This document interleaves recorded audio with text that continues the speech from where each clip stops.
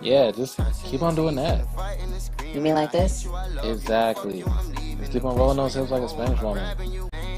Not sure to keep on looking at us. Yeah, this my girl. I see you hating. Don't worry about us.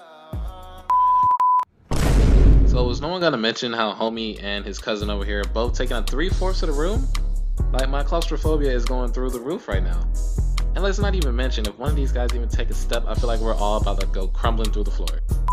This girl is sitting so close to me that if I even think about something the slightest bit exciting, she will feel everything that I'm thinking. This is like the coolest thing I have ever seen.